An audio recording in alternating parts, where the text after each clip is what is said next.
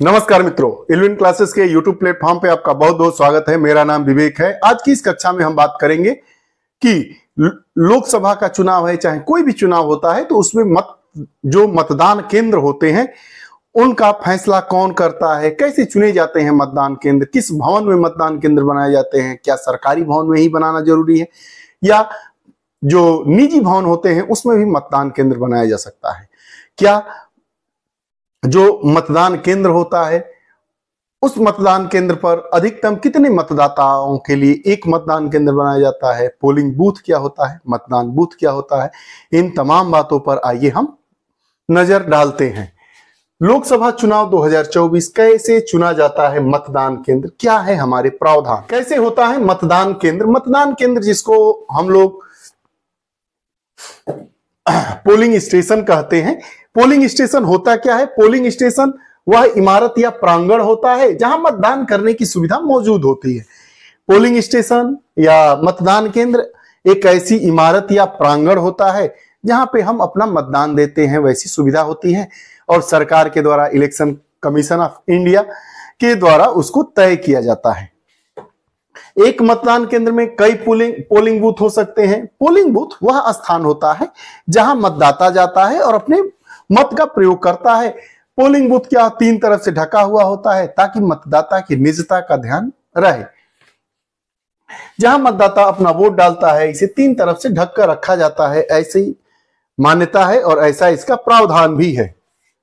मतदाता के घर से अधिकतम कितनी दूरी पर हो सकता है मतदान केंद्र? इसके लिए जन प्रतिनिधित्व अधिनियम उन्नीस सौ इक्यावन में प्रावधान है। क्या प्रावधान तय किए गए हैं? इलेक्शन कमीशन ऑफ़ इंडिया आबादी में बदलाव होने पर समय समय पर नए दिशा निर्देश जारी करता रहा। 2020 2020 में बने नियमों के मुताबिक 1500 से अधिक मतदाताओं पर एक पोलिंग स्टेशन होना चाहिए। मतलब 1500 से अधिक मतदाता है, वहाँ पर एक पोलिंग स्टेशन अर्थात मतदान केंद्र होता है और एक पोलिंग स्टेशन पर कई बूथ हो सकते हैं, लेकिन जो पोलिंग बूथ होता है उस पर एक हज़ार से ज़्यादा मतदाता नहीं होते हैं। मतदान केंद्र होता है जहाँ पर हम वोट देने जाते हैं। वह मतदाता के घर से दो किलोमीटर से ज़्यादा दूरी पर नहीं होता है। इस प्रकार का स्ट्रक्चर इस प्रकार की इमारत या ऐसे प्रांगण को चुना जाता है जो उस गाँव के बीच में हो और जहाँ से उस मतदान केंद्र पर मत देने आने वाले जितने मतदाता हैं, उनकी अधिकतम दूरी उस मतदान केंद्र से दो किलोमीटर हो। इससे ज़्यादा दूरी नहीं होगी। ऐसा जन प्रतिनिधित्व अधिनियम उन्नीस सौ इक्यावन में इसका प्रावधान किया गया है।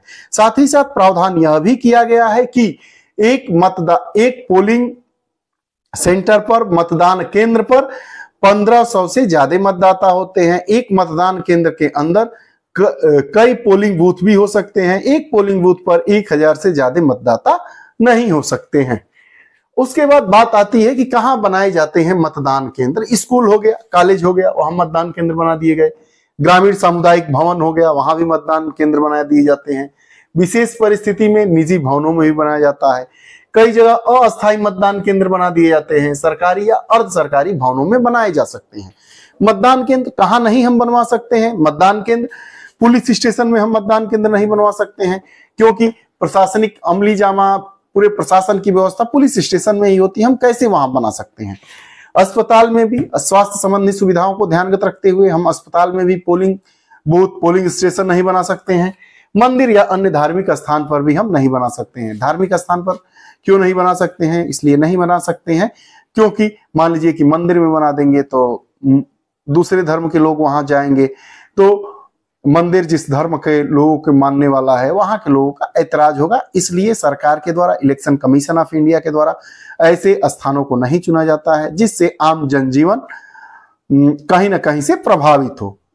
तो हम कह सकते हैं, या ऐसी सूची बनाई गई है कि पुलिस स्टेशन, अस्पताल और धार्मिक स्थल, मंदिर या अन्य धार्मिक स्थलों पर मतदान केंद्र नहीं बनाए जा सकते हैं। मतदान केंद्र स्कूलों में बनाए जा सकते हैं, कॉलेजों में बनाए जा सकते हैं, सामुदायिक केंद्रों पर बनाए जा सकते हैं। विशेष परिस्थितियों में, निजी भवनों में भी अस्थायी मतदान केंद्र भी बनाए जा सकते हैं। सरकारी या अर्ध सरकारी भवनों पर भी मतदान केंद्र बनाए जा सकते हैं। है कि मतदान केंद्र की जो इमारत होती है, वह कौन सी इमारत होगी, इसका फैसला कौन करेगा? तो मतदान केंद्र के इमारत को लेकर फैसला सामान्यतः जिला मजिस्ट्रेट या फिर जिलाधिकारी ही करता है। जो जिला मजिस्ट्रेट या जिला अधिकारी होता है, वही उस ज़िले का मुख्य चुनाव अधिकारी भी होता है। मुख्य निर्वाचन अधिकारी भी होता है। हालाँकि इलेक्शन कमीशन ऑफ़ इंडिया की अनुमति लेना भी अनिवार्य है।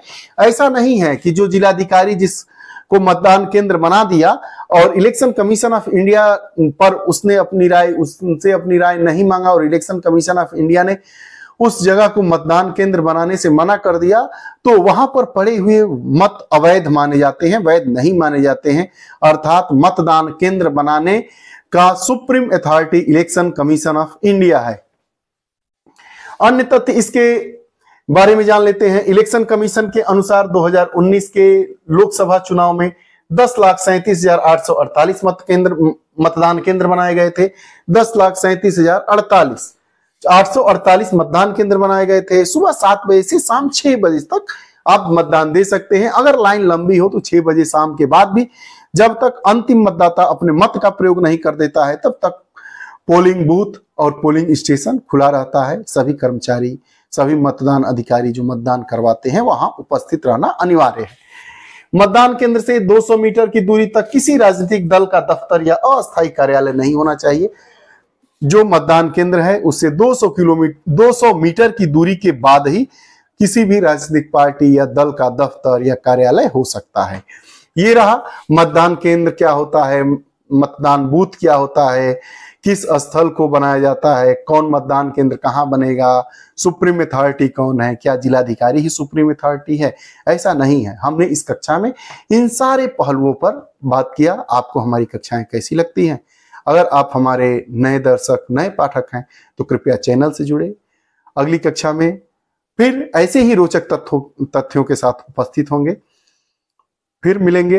तब तक के लिए बहुत बहुत धन्यवाद। नमस्कार।